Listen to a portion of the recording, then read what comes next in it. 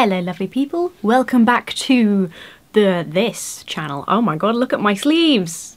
I look like I could take off. I know, I look very 80s today. It's fine, where's my coffee? I'm allowed to be more casual and lazy on this channel because that's the rules that I've decided. First exciting update of the day. I've, I've been shopping online. Bought myself a little, just a little cheap small handheld gimbal, but I thought it would be cool. It's got like a, it's got like a whatever I've forgotten what it's called. It's got one of those mounts on the top for a microphone, and so you can you can carry it around. I'm thinking ahead. Eventually, the day when I one day go back to conventions, and it'll be easy to carry around. The other thing is I've got a new office mat. I got carpet in here. If I'm going to show you, I'm going to have to hoover it first. I've got a big heavy gaming chair that I am always shooping around in. Uh, so I got so I got a big mat thing that was recommended for on carpets like this.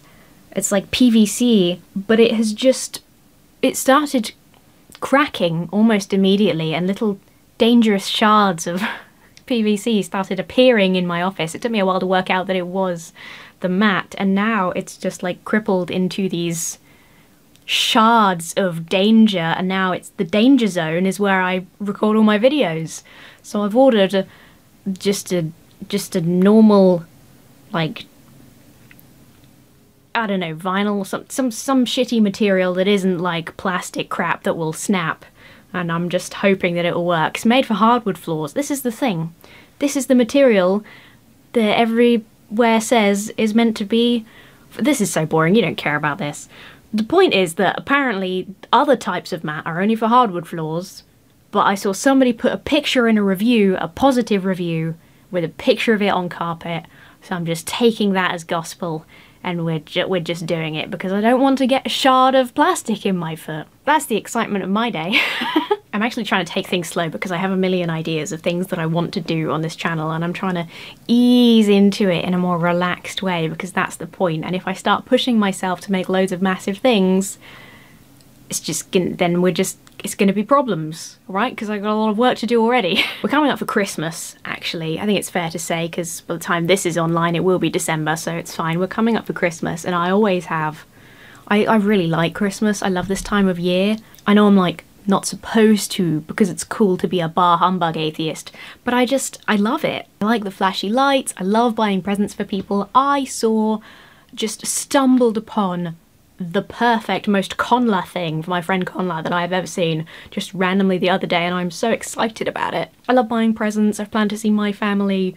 We're going to go to Matt's, my partner Matt's for actual Christmas and then after Christmas we're going to go up to York and see my fam. It's going to be awesome, I'm so excited. But I'm also excited because it's a great opportunity to talk about some theology stuff that I find super interesting, some history stuff. So I'm currently working through the research portion I'll be lucky if it's actually done by Christmas. Maybe this will end up being Christmas next year, but I'm working through the research portion of a video on the origins of Christmas. Because everybody knows, ah, oh, pagan origins, pagan origins, aren't Christmas trees a pagan tradition? But nobody knows much more than that, and also it's not just pagan, it's also Roman, and I think the history is really interesting, especially because I don't want to, I'm going to go off and get all excited now, so I'll try and keep this as short as possible, but especially because uh, the early Christian church was very anti celebrating the birthdays of like martyrs and stuff, including Jesus. So I think that's all really interesting, and I like, I'm, I'm but it, it's a lot. So that's that's going on. Before that, I've got um, uh, there's a new Answers in Genesis uh, video that is directed at evolutionists, and apparently it's going to horrify evolutionists. And since since that's me, even though it's not a real thing, I thought, well, I've, I've got to see. I've got to see what it is that's going to horrify me, you know? What has Ken Ham or Tim Chaffey or whoever come up with that will absolutely crush evolution once and for all, despite, you know, 100 videos having purportedly already done that. I don't know why they keep I don't know why they keep bothering. Money is the reason they keep bothering. So what else am I doing right now? Well, it now because it is in your world. It's very end of November for me, so it's not like I'm recording this a million years in advance in a like a weird way. Uh, the joy of this channel is that I can record things and post them quite quickly afterwards, so I don't have to because my main channel stuff there tends to be quite a big delay especially if there's like sponsors and stuff involved because everything has to get approved a few days before it releases and so on and so on. Boring boring boring.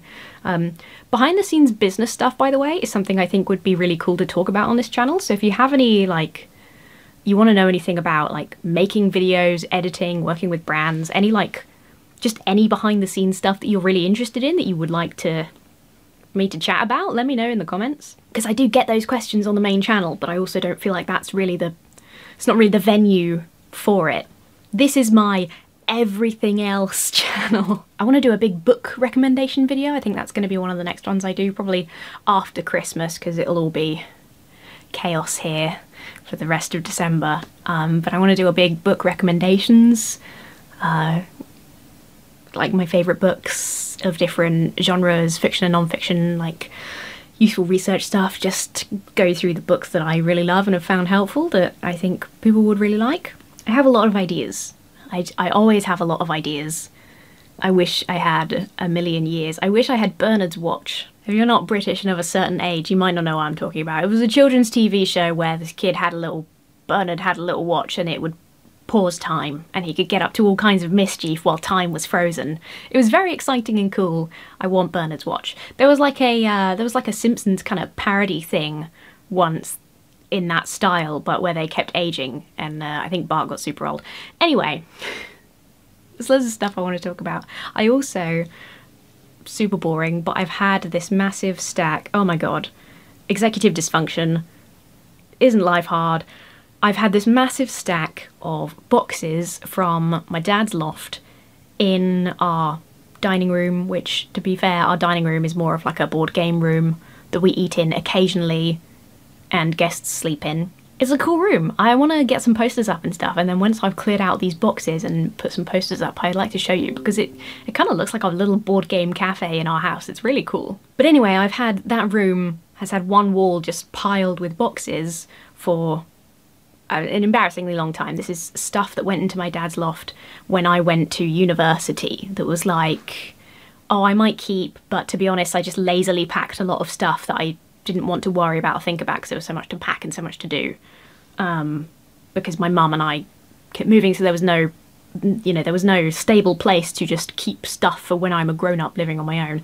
Anyway, eventually I became a grown up living in a house with actual storage space and so I got the boxes back and I just, it's taken me a long time to go through them. But I did another like three or four boxes I emptied out the other day. I unearthed a load of my old comic books, so many stuffed toys, so many stuffed toys. I've had to, I've, I had to sort of stop unpacking and go through my existing office and throw away like two bin bags worth of stuff so I could keep unpacking to figure out what to throw away and what to keep because I just, yeah, I, I have too much stuff. you may find hard to believe by like the environment that I exist in. That is my like when I have time and I need a break from filming stuff and streaming and whatever, that's what I'm doing. I'm unpacking boxes basically. Unpacking boxes, throwing stuff away, just trying to organize my life. I'm technically still doing NaNoWriMo because it is still November. However, my schedule is such that I don't think I'm gonna do much more writing until December, but I never go into NaNoWriMo expecting to. That's National Novel Writing Month. Um, if you're not familiar, there's like a whole website and it's become this massive thing. It's really cute. Um, if you do write stuff of any kind, like I've seen people, I've seen people use it for like scripts and all sorts of things. It's really cool. Um, you can join local communities. You can join communities with people you know, make friends and stuff. Um, and then you have like a daily word count. You can set your own goal. It doesn't have to be the 50,000 words, but that is the traditional like write a novel in a month thing. Um, but I've managed to get my story that I'm working on right now up to about 26,000 words. I've actually planned the whole. I know what's happening in this. I've, I. It sounds sort of obvious and basic to writing a novel, which I get, but I've never executive dysfunction. I've never been this successful at actually just getting the story out and continuing it. Like, I think it's because I'm really married to this idea. This is something that I've been ruminating on for years. It comes from, maybe I'll do a video about it where I talk about it in more detail, but um, basically, I, I, had this idea for a university project of a different kind. Um, and I was like, yep, I want this. This is mine. These characters live in my head. I just sometimes I just sort of sit and see what they're up to and write that down. But I have the entire novel planned out. I know what happens in every chapter. I know how many chapters there are. I have written now six chapters, actually just just written them, all of the events. The thing is, because I have not written in so long, and because I have not studied in so long, I did a, a short writing course with the Open University like last year, and that was super helpful. But it's kind of gone again. so like I'm I'm sort of afraid to keep because writing it is a bit stressful because I've sort of forgotten how to write well. So I'm just trying to kind of ignore that and just get the events down and at least if I've got a story with this happens and then this happens and then this happens and this character says this and this character says that, but it's a bit shit. That's just draft one and then I can learn how to write it better. At least that then I have a starting point and I'm actually doing it so I'm really proud of myself. It's the kind of thing where I'm always like, oh, I'm too busy, but realistically, there's there's always a little bit of time. Like I said, I'll, I'll, I'll probably talk about this another time. Maybe maybe I could combine my book recommendations video with my I'm writing a thing video. Who knows? But I think the thing that's helped me is ignoring a lot of advice. Not uh, taking in a lot of advice, a lot of good advice and a lot of stuff, but not everything works for everyone and I don't I don't form habits well. It really takes a lot for me to form a habit, especially good habits, right? Um, and a lot of people were find out what time of day works best for you to write. A lot of people said first thing in the morning. And then some people said, actually, for me, you know, it works better at the end of the day, whatever works for you. For me, writing on a schedule doesn't work. It just doesn't work. Whereas working a bit and then being like, oh, I'm rendering a video, maybe I'll just take a look at my story, and then writing for two hours, that works for me. Like sometimes I'll get super into what I'm writing in the evening, and then I've like taken my phone to the bath and kept writing in the bath because I just kind of can't stop. Depends on depends on you and how you work, but I think just listening to your brain and your body instead of trying to force yourself into somebody else's method that's been a big that's been a big help for me. So that's going on, traveling around, Christmas, exciting things. Because I'm talking without notes or anything, I'm completely all over the place, and I'm like. I'm I'm starting talking about something for a reason and then getting distracted talking about it and then forgetting the original reason. The reason I was talking about emptying boxes and stuff, the reason I brought that up, come on Emma Brain, you can do this, is because one of the things I unearthed when I was uh, organising the other day and emptying them out was a massive box of old PC games. So excited. I used to do this series. I still kind of do it occasionally, but you know, Emma Brain. Um, I used to do this series called I remember. Um, and I think the reason I used to do it more frequently was because I had a friend that I did it with that I lived near, and you know, life was different. It was many years ago. Um, but it was basically I would go through, or each of us would go through different games from our childhoods and sort of play them together. And like, uh, you know, it's an amazing mix of incredibly shit or like, oh, this is still kind of a classic. Um, so I have like a, a, huge load of random old PC games that I definitely want to go back to. A lot of them I've uh, I've already played on the channel. There's stuff like um, Disney's coaster, Disney roller coaster game or whatever that I've already played on there. Um, so I think a I love doing that and it's super super fun. Uh, B I think that playing them on the channel and like doing a dedicated video, here's it here's the game, I remember it, this is fun, is a great way to then say, okay, now I can get rid of the game, and that is going to be an organisational cleaning benefit for me. So I'm not sure exactly how to do that, but um, maybe like once a month or something. Again, scheduling, it's not my forte, so it might not work out like that, especially for the gaming channel because, well, because to be perfectly honest, it doesn't make me any money. Um, so it's much less, I have to dedicate a lot more to, I have to be careful because I do spend a lot of time on that channel, more than I should for the fact that it makes me no money.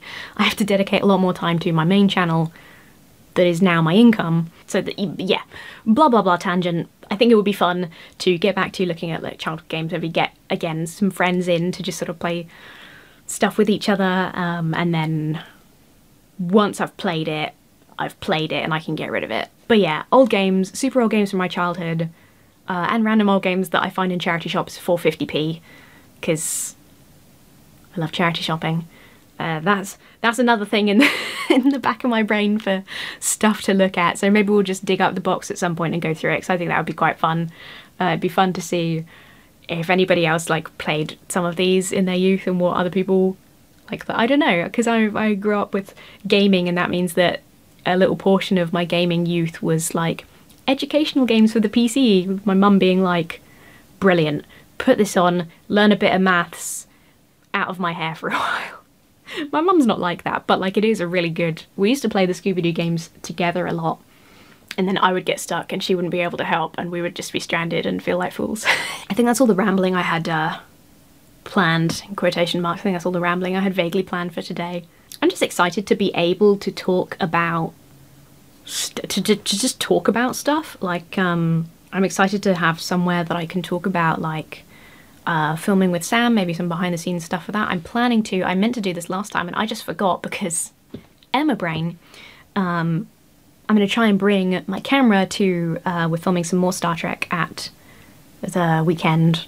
Um, again, depending on when the film we're currently filming comes out, because I don't know where that is in the timeline. Some stuff we've already filmed is probably not going to be out for months and months, so it's like confusing filming stuff. But I'd like to be able to have somewhere to share like behind the scenes stuff and talk about filming fan films because I think that's really interesting. I've got like five different cosplays that are almost done, but not quite. And I've I've been trying, it's probably like really it's probably really bad and embarrassing to watch, but I've been trying to film myself putting this one particular costume together as sort of a test. So um, this is going to be where I'm going to post like working on cosplays and stuff like that from a very amateur perspective, just to warn you. And yeah, it's just nice to be like, oh, I really want to share this. I want to talk about this and actually have somewhere that I can somewhere that I can do that. I'm going to stop before I get caught up on any more tangents because good lord. Um, thank you so much for watching. I've asked stuff I've forgotten everything already, so put your answers to the stuff I've asked down below. Give me your feedback on stuff you would like to see that I have mentioned. Um, I do vaguely remember. Because, uh, yeah, I'd really like to know, you know, if you are interested in this sort of background behind the scenes, just chatting, uh, talking about whatever stuff. I'd like to know what you are interested in because it's it's for me to ramble, but it's also for you to watch. So just let me know let me know. And um, let me know what you think of my giant Battenberg jumper because uh, I love it. And this is what I've been living in through the winter. So don't be mean to me about it. Thank you. Before I jump off, I would like to give a big thank you and a shout out to my giant chickens over on Patreon.